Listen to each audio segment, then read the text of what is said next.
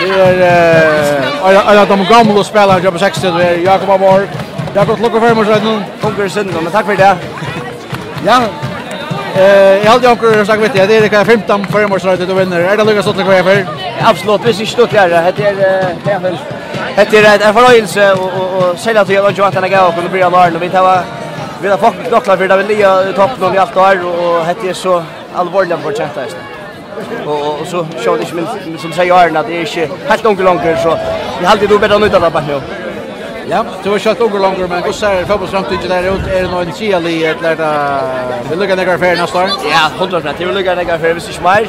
Eh, jag skrev under tror jag sappala för en annan sjön så vi har två två år rätt och tätla är absolut att att uppfylla. Jag tror inte sätta några ara man när det ska gövast. Ta kroppen kjørska mer og, og sinne kjørska mer, så, så gjøres det, men er det totalt gamer, ja. Hur det blir stått där.